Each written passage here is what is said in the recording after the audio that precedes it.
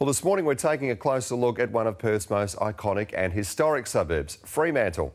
We'll have a look at what's happening in our port city right now, as well as its future plans. And we begin with some big changes at Fremantle Hospital.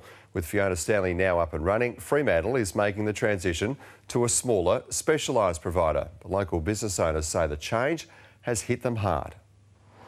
Think coffee, think Freo. It's Perth's original cappuccino strip, but locals say their businesses are running out of steam. We used to probably get about 30 to 40 doctors and nurses and that from the hospital uh, in before, I guess, February 3rd, and suddenly it just stopped overnight. Chris Ford's cafe is opposite Fremantle Hospital, which used to have 450 beds and an emergency department. Now it's been downsized by a third to 300 beds, focusing on aged care, mental health, rehab, and specialist surgery. When Fiona Stanley uh, came online, uh, Fremantle Hospital has lost 1,900 jobs, and that's the real kicker for the local businesses. They're people that would buy their lunch, buy coffees every day, and they're not there anymore. That's really damaging the local economy. The cost to the Fremantle economy is estimated at $300 million every year. Probably about a three or four hundred dollar drop in our lunch trade every day.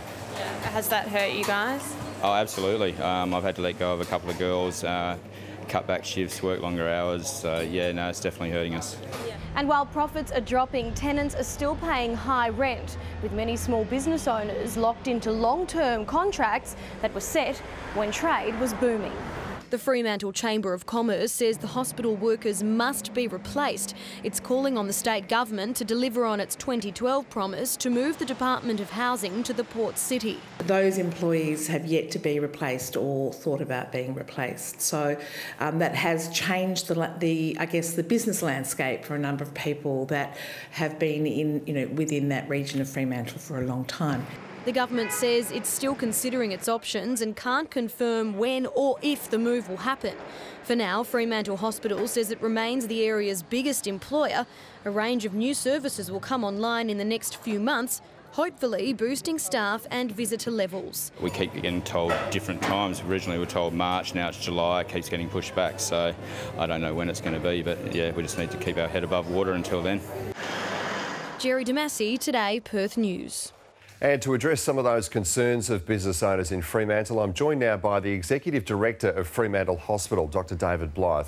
Dr Blythe, good morning to you. Thanks for your time. Morning, pleasure to be here. We're talking quite a large number of jobs here, about 2,000.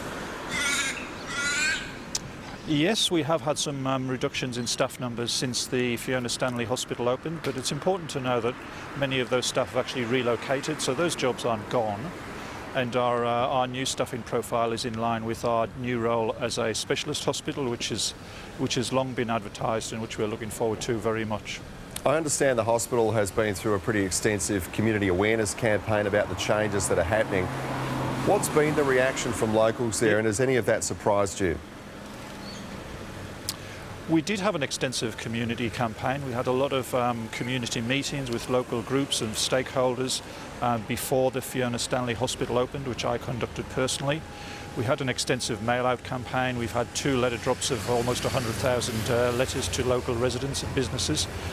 Um, so people have been uh, hopefully provided with sufficient information. The reaction from local residents has been um, has been mixed. Obviously, there's a lot of concern about the changing role of the hospitals, but the reactions I've had have been that when people are provided with sufficient information about the, the new role of Fremantle, they've uh, they've accepted that and, and, are looking forward to our, our new delivery of our new suite of services. Well, some business owners down there say they are experiencing up to a 20% downturn. Do you expect that to change, or is that the future for them? The hospital's role is still in a, in a bit of a state of flux, so we're, we're very busy in our medical wards, our mental health wards and our aged care and rehabilitation wards. We've still got some capacity to do a little bit more activity on the surgical side of things. And when our new day admission centre opens um, in the near future, we're hoping that our surgical activity will pick up um, and that um, you know, the, there'll be more activity, particularly in, on those surgical beds. So we're looking forward to a, um, an increased activity in surgery particularly. Um, so I would hope that brings perhaps a little more a little more traffic to the to the local businesses. I noticed you've got a, a new 50 bed day admission centre due to open in June. Is that on track to open in June? Yes, that is on track to open in June, and it's one of a one of a number of, um, of new services that are uh, operating or beginning to operate over the next few months. Our hand surgery service, which is a new service, started yesterday, and we've got a couple of services which were previously off-site um, but associated with the Fremantle Hospital. So there's a rehabilitation service which was in Moss Street, and that's coming back on board um, at the Fremantle campus in a few months' time. And um, we've got an older, older adult mental health unit, which is again coming back to the Fremantle campus. So we are bringing a little bit more activity in those areas back to the hospital campus. All right, Dr. David Blythe, we'll have to leave it there. Thank you for your time this morning.